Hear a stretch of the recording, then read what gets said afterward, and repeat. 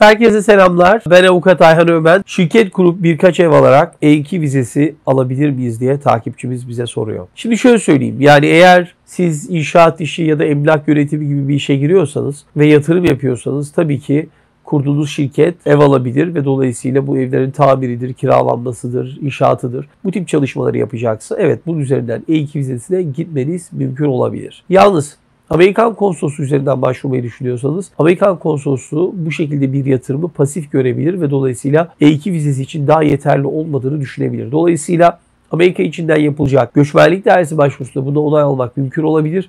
Ama Amerikan konsolosluğu üzerinden şirket üzerine iki ev alarak adım atıyor olmak yeterli olmayabilir. Biraz daha büyümesi gerekebilir. Yatırımın daha aktif hale döndüğünün görünmesi gerekebilir deyip takipçimizin sorusunu cevaplamış olalım.